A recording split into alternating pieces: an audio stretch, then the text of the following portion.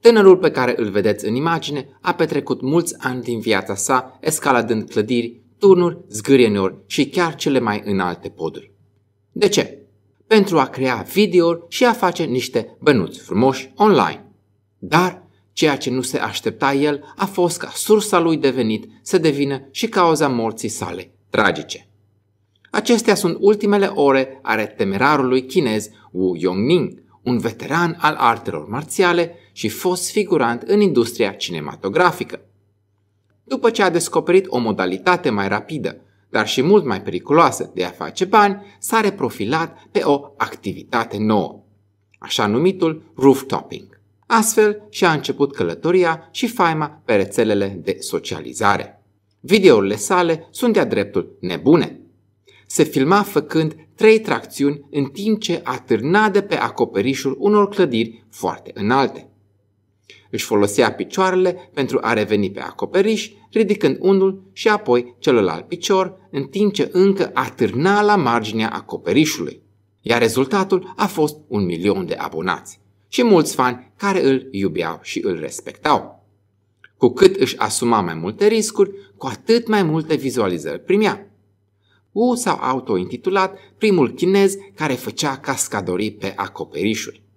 A câștigat zeci de mii de dolari din urma celor peste 500 de videoclipuri postate. Dar toate acestea aveau să se schimbe atunci când o companie i-a oferit 15.000 de dolari în schimbul cățărării pe o clădire cu 62 de etaje. Wu a crezut că este o oportunitate perfectă deoarece avea nevoie de bani pentru mama sa bolnavă și, de asemenea, dorea să folosească acești bani pentru viitoarea sa nuntă. Chiar plănuia să o ceară în căsătorie pe iubita lui a doua zi după această ultimă cascadorie. Din nefericire, lucrurile au degenerat foarte repede într-o tragedie. Pe 8 noiembrie 2017, Wu a intrat în clădirea cu pricina, a luat liftul până la etajul 40, iar de acolo a mai urcat încă 20 de etaje prin afara clădirii pentru a ajunge în vârf. Era calm. Totul a decurs exact la fel ca în oricare dintre celelalte cascadorii ale sale. A folosit o bucată de pânză pentru a șterge suprafața de pe acoperiș și apoi și-a agățat încet picioarele pe clădire. Mai întâi piciorul drept, apoi cel stâng. Dar, după cum puteți vedea, se chinuia să-și țină priza pe marginea acoperișului. Așa că, după aproximativ 5 secunde, s-a urcat înapoi și a încercat din nou. A pus jos piciorul drept, apoi cel stâng, după care a făcut mișcarea sa emblematică. Cele trei tracțiuni.